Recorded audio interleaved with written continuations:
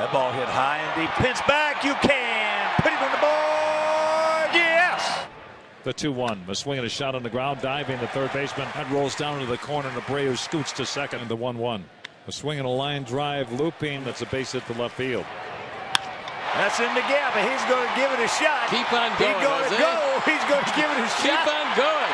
Yes. Yes. The last cycle, Jose Valentin in 2000.